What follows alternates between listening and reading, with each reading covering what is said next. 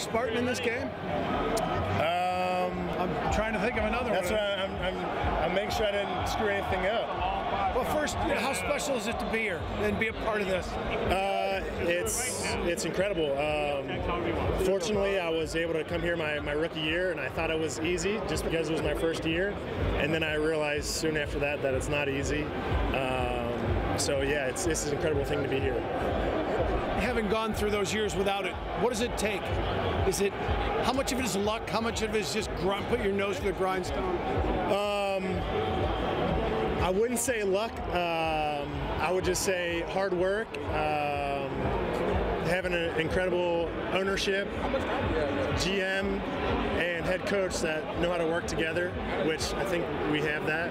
Um, think all that, plus just the guys that we've brought in, the culture that we've kind of changed uh, over the last three years.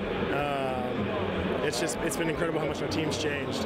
What is it that Shanahan?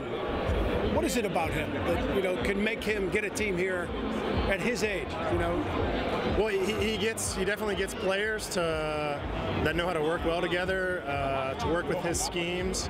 Um, same defensively. Um, two, you know, you always hear about GMs and, and head coaches not always seeing eye to eye, so they draft different people that they might not want, uh, and that's not the case here.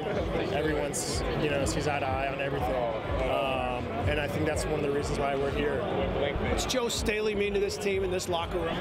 Uh, everything. I mean, he's he's the heart and soul of the team, um, among other guys.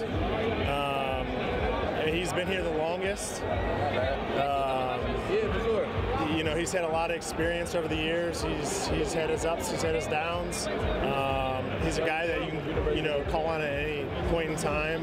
Um, he's just a guy you can count on.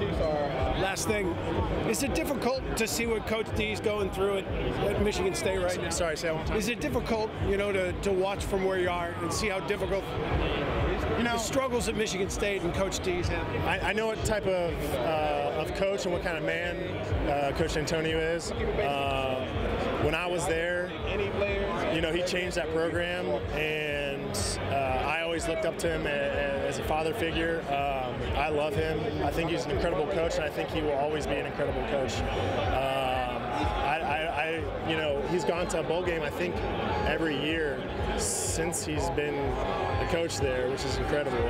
Um, I think he's one of the best to ever do it. So.